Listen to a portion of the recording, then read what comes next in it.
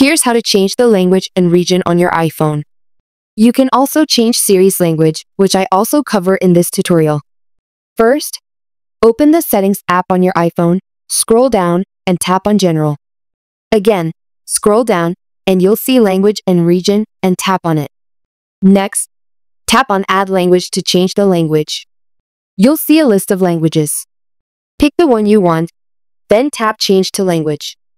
Here, I am selecting English, USA. Then, your iPhone will ask you to use English, US, as your primary language. Select Use English, US. Wait for a second. Your iPhone will update itself. Now, my region is Australia. To change your region, tap on Region. Choose your country from the list. Suppose I want to select the United States. Tap on Change to United States. And your iPhone will restart to apply the changes. This will change things like date formats, currency, and what apps are available. And that's it. You've changed the language and region of your iPhone.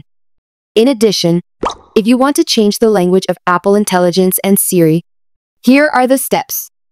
Open the Settings app, scroll down, and tap on Apple Intelligence and Siri.